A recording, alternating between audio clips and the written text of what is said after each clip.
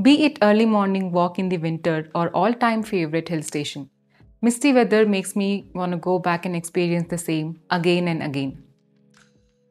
Hi, I'm Swathi G. Hegde, a watercolor artist by passion and a software engineer by profession based out of Bangalore, India. I go by the handle Tinted Toodles on Instagram. As you can see, my feed is filled with various themes and different watercolor techniques which says a lot about my love for watercolors. Some of these themes are my favorite and some just give me a lot of comfort.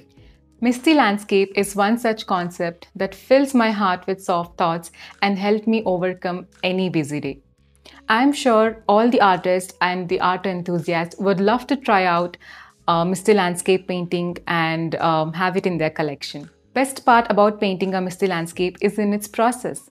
Since there is no defined edges or defined um, shape for the fog, and also the pine trees can be of any different uh, shades, you are open to try out your imagination on paper. There are many different techniques out there to paint the misty landscape. So first, we will go through some of the techniques and also understand the concept of area of space. Based on it, we will try to see with the tonal values of watercolors how to implement and achieve different uh, areas of space using watercolors. Once this is done, we will get started with our class projects in which we will be painting three beautiful uh, misty landscapes, one with just one layer of pine, second day with two layers of pine and third day with multiple layers of pine.